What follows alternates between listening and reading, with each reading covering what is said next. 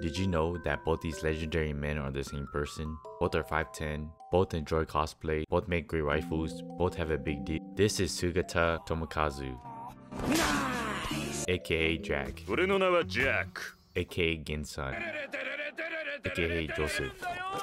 Sugita is one of the most charismatic seiyus in the industry, being the voice of some of the funniest anime characters, and although he does voice serious characters like Escanor or Gilme, it's hard to take him seriously without knowing a meme will come out of his mouth.